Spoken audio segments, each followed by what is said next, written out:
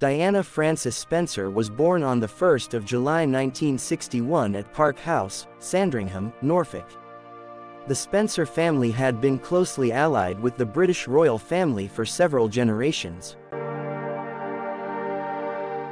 Diana grew up in Park House, situated on the Sandringham estate. The family leased the house from its owner, Queen Elizabeth II. The royal family frequently holidayed at the neighboring Sandringham House, and Diana played with the Queen's sons Prince Andrew and Prince Edward. Diana was seven years old when her parents divorced. In 1978, Diana worked for three months as a nanny for Philippa and Jeremy Whitaker in Hampshire. And she spent time working as a nanny for the Robertsons, an American family living in London, and worked as a nursery teacher's assistant at the Young England School in Pimlico. Diana first met the Charles the Prince of Wales Elizabeth II's eldest son and heir apparent, when she was 16 years old in November 1977. And Charles was then 29 and dating her older sister, Sarah. Charles and Diana were guests at a country weekend during the summer of 1980 and he took a serious interest in her as a potential bride. The relationship progressed when he invited her aboard the royal yacht Britannia for a sailing weekend to Cowes. This was followed by an invitation to Balmoral Castle, the royal family's Scottish residence, to meet his family. She was well received by the Queen, the Queen Mother and the Duke of Edinburgh. He proposed on the 6th of February 1981 at Windsor Castle, and she accepted, but their engagement was kept secret for two and a half weeks. Their engagement became official on February 24, 1981. Diana selected her own engagement ring. Following the engagement, she made her first public appearance with Prince Charles in a charity ball in March 1981 at Goldsmiths Hall, where she met Princess Grace of Monaco. 20-year-old Diana became the Princess of Wales when she married Charles on July 29, 1981. The wedding was held at St. Paul's Cathedral, which offered more seating than Westminster Abbey, a church that was generally used for royal nuptials.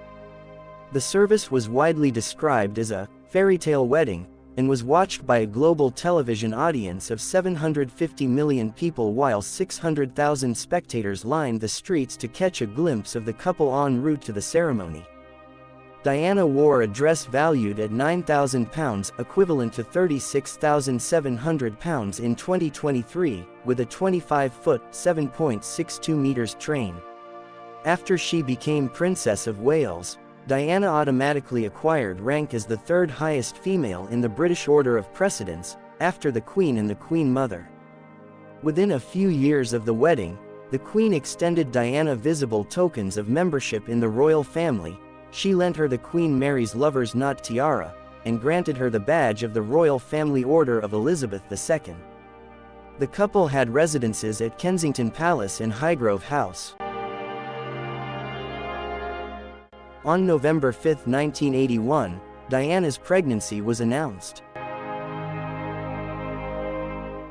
On June 21, 1982, Diana gave birth to the couple's first son, Prince William. She subsequently suffered from postpartum depression after her first pregnancy. A second son, Harry, was born on September 15, 1984. Diana said she and Charles were closest during her pregnancy with Harry. She was aware their second child was a boy, but did not share the knowledge with anyone else, including Charles as he was hoping for a girl. Five years into the marriage, the couple's incompatibility and age difference of 12 years became visible and damaging. In 1986 Diana began a relationship with Major James Hewitt, the family's former riding instructor in the same year, Charles resumed his relationship with his former girlfriend Camilla Parker Bowles. The media speculated that Hewitt, not Charles, was Harry's father based on the alleged physical similarity between Hewitt and Harry, but Hewitt and others have denied this. Harry was born two years before Hewitt and Diana began their affair. By 1987, cracks in their marriage had become visible and the couple's unhappiness and cold attitude towards one another were being reported by the press, who dubbed them, the Glums, due to their evident discomfort in each other's company. In 1989, Diana was at a birthday party for Camilla's sister, Annabel Elliot, when she confronted Camilla about her and Charles's extramarital affair. These affairs were later exposed in 1992 with the publication of Andrew Morton's book, Diana, Her True Story. The book, which also revealed Diana's allegedly suicidal unhappiness, caused a media storm. In 1991, James Colthurst conducted secret interviews with Diana in which she had talked about her marital issues and difficulties. These recordings were later used as a source for Morton's book. During her lifetime, both Diana and Morton denied her direct involvement in the writing process and maintained that family and friends were the book's main source. However, after her death Morton acknowledged Diana's role in writing the tell-all in the book's updated edition, Diana, her true story in her own words. The Queen and Prince Philip hosted a meeting between Charles and Diana and unsuccessfully tried to effect a reconciliation. In December 1992, Prime Minister John Major announced the couple's amicable separation to the House of Commons. Between 1992 and 1993, Diana hired a voice coach Peter Settelen to help her develop her public speaking voice. That people are who are HIV. In a videotape recorded by Peter Settelen in 1992, Diana said that in 1984 through to 1986, she had been deeply in love with someone who worked in this environment. It is thought she was referring to Barry Mannakee, who was her bodyguard. Diana said in the tape that Mannakee had been chucked out from his role as her bodyguard following suspicion that the two were having an affair. Charles' aunt, Princess Margaret, burned a highly personal letters, that Diana had written to the Queen Mother in 1993. Although she blamed Camilla Parker Bowles for her marital troubles, Diana began to believe her husband had also been involved in other affairs. In October 1993, Diana wrote to her butler, Paul Burrell, he is best known for becoming the trusted personal assistant and confidant to Princess Diana. Diana telling Paul Burrell, that she believed her husband was now in love with his personal assistant Tiggy Legge-Bourke, who was also his son's former nanny and was planning to have her killed, to make the path clear for him to marry Tiggy. Legge-Bourke had been hired by Charles as a young companion for his sons while they were in his care.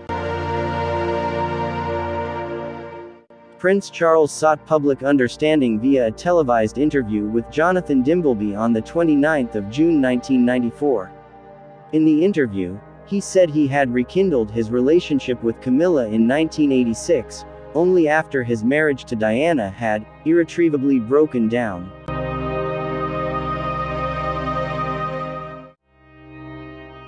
In the same year, the News of the World claimed that, Diana had made over 300 phone calls to the married art dealer, Oliver Hoare. These calls were proven to have been made both from her Kensington Palace apartment, and from the phone box just outside the palace. However, Diana denied any romantic relationship with Oliver Hoare, whom she described as a friend. She was also linked by the press to rugby union player Will Carling and private equity investor Theodore J. Forstmann, yet these claims were neither confirmed nor proven. Journalist Martin Bashir interviewed Diana for the BBC current affairs show Panorama. The interview was broadcast on November 20, 1995. Diana discussed her own and her husband's extramarital affairs. Referring to Charles's relationship with Camilla, she said, Well, there were three of us in this marriage, so it was a bit crowded. and Diana said, she had suffered from depression, rampant bulimia, and had engaged numerous times in the act of self-mutilation. The show's transcript records Diana confirming many of her mental health problems, including that she had hurt her arms and legs. After the interview aired on television, on December 20, 1995, Buckingham Palace announced that the Queen had sent letters to Charles and Diana, advising them to divorce. After two weeks Charles formally agreed to the divorce in a written statement soon after. In February 1996, Diana announced her agreement after negotiations with Charles and representatives of the Queen, irritating Buckingham Palace by issuing her own announcement of the divorce agreement and its terms.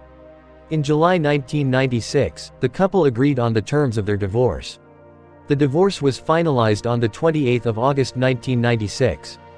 The couple shared custody of their children. Diana received a lump sum settlement of £17 million, equivalent to £34 million in 2023, as well as £400,000 per year. Diana lost the style, Her Royal Highness, and instead was styled Diana, Princess of Wales. The Queen reportedly wanted to let Diana continue to use the style of Royal Highness after her divorce, but Charles had insisted on removing it. Prince William was reported to have reassured his mother, Don't worry, mummy, I will give it back to you one day when I am king. Almost a year Prince Philip had warned Diana, If you don't behave, my girl, we'll take your title away. And Diana replied, My title is a lot older than yours, Philip.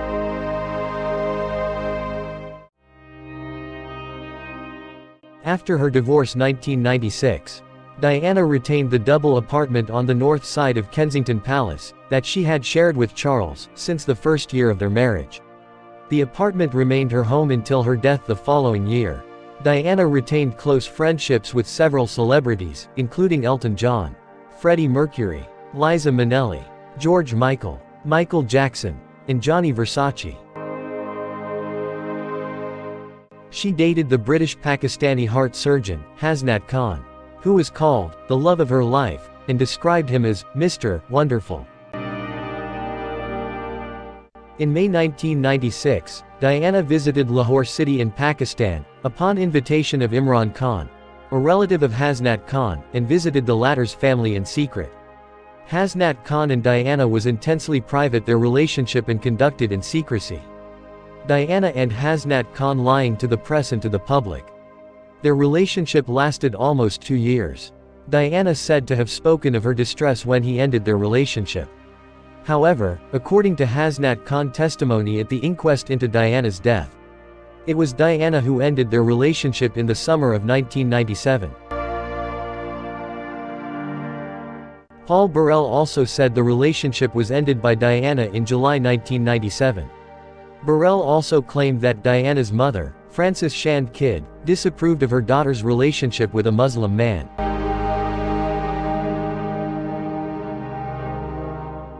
Within a month, Diana began a relationship with Dodi Fayed, the son of her summer host, Muhammad Al Fayed. That summer, Diana had considered taking her sons on a holiday to the Hamptons on Long Island, New York.